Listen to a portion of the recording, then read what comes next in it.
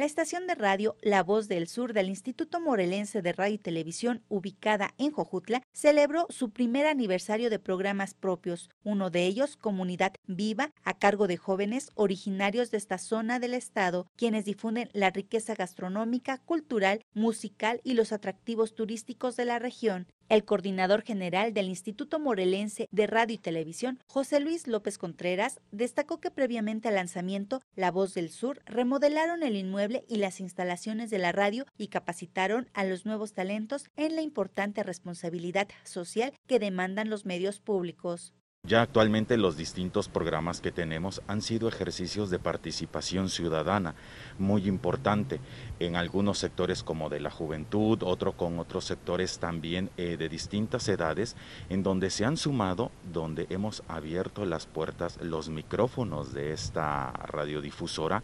para que puedan eh, presentar sus ideas, sus proyectos, sus actividades de una manera, de una manera con absoluta libertad para precisamente buscar un mejor desarrollo de la comunidad, de la ciudadanía y evidentemente construir audiencias con igual con responsabilidad. La directora de radio del IMRIT, Yara Iturbe, puntualizó que la frecuencia 100.5 de FM ya cuenta con cuatro programas en vivo, Comunidad Viva, Así Somos en el Sur, Nos Levantamos y Radiante, a cargo de jóvenes capacitados sobre los medios públicos. Son cuatro que han salido desde este, de este proyecto y también este, gente que participa, que aunque no salió este proyecto, que es de acá, en este caso también este, con Alma Carla Sandoval, que está este, trabajando con nosotros, digo que es una gente importante y que ella es de aquí, entonces es muy importante pues que gente eh, que ha salido de aquí talentosa, pues que regrese ahora sí a sus raíces, ¿no? A, seguir este, aportando y pues